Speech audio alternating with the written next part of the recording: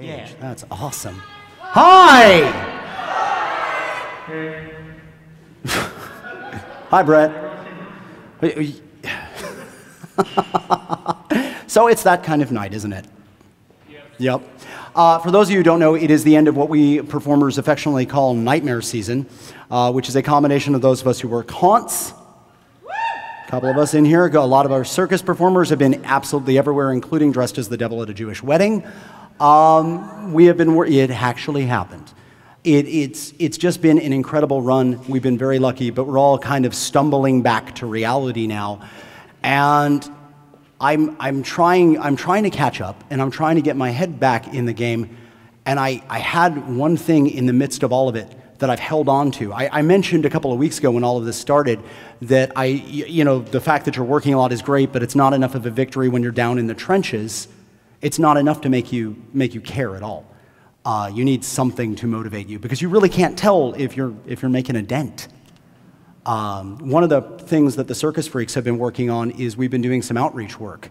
We've actually been working uh, with at risk kids. It's kind of a, a, really new program. A lot of times they'll send clowns and performers into schools, but the idea of going into um, you know, homes where kids are really, I mean, they're on that teeter point. There's, there's no other way to put it and having a, a, teaching performer actually work with them is a, is a new kind of revolutionary idea. And we got involved in a project that allows us to do that. And we, we kind of piloted it up, not really thinking about the fact that it was going to peak about the time we got into the Halloween season. So I found myself alternating between being the devil and being a clown for really, really, really, really troubled kids, which is sort of like standing here. It really is. It's exactly like it, honestly. But I'm going back and forth. I'm going back and forth through all of it, and I, I have to remove a lot of names for obvious reasons, but I wanted to tell you one quick story before we started the show. There was a kid I met, and I'm going to be honest, I, I, I was an ass when I was a child. I was, I'm as troubled as you think I was. And this kid was me. I mean, there's no other way to put it. He was on that path and he was mad and he was acting out. And the first time I met him, well, I can give you a quick rundown. Um, there's a clown here named Calamity, who's a, who's a very young girl. He grabbed her butt. It's a strong choice. Um, he spit water all up and down my back in the middle of a show. And then at one point, he actually grabbed a handful of pumpkin, which meant he had to open a pumpkin up, carve it into a jack o' lantern, grab a handful of pumpkin seeds, walk up to me and go, Hey,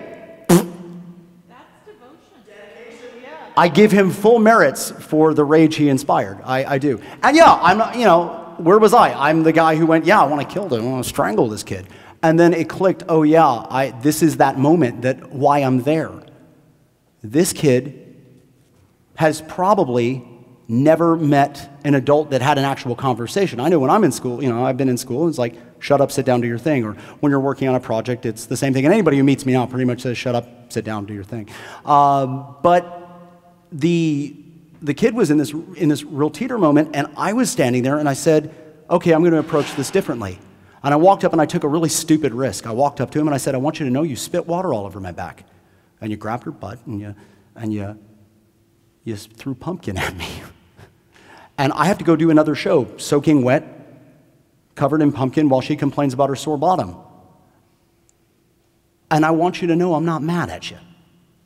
I'm not happy but I'm not mad at you. And that's what I said.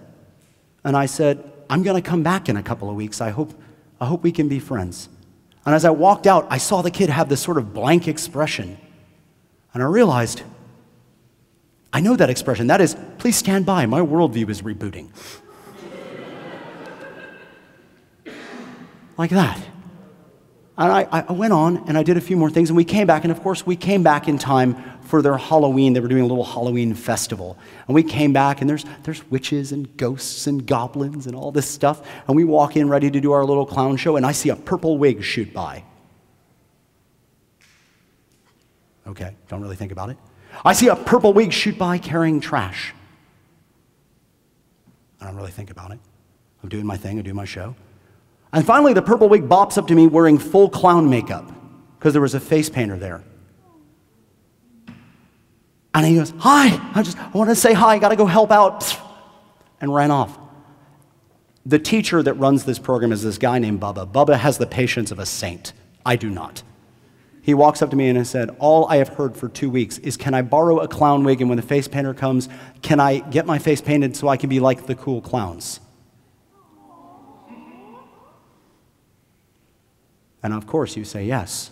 And of course, at the end of the day, we went on a hayride and we were done halfway through the day, but we stayed for the rest of the day and we went on a hayride with these kids because I've never been on a hayride. That was awesome. But more importantly,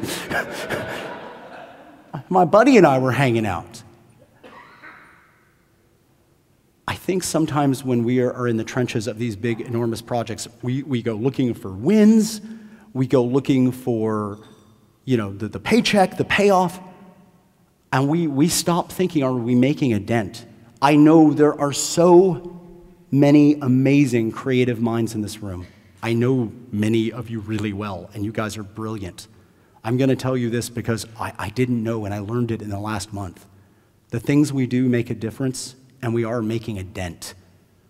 And I figured if there was any place I could come and tell as many geniuses as possible, it would be right here at the open stage. Welcome.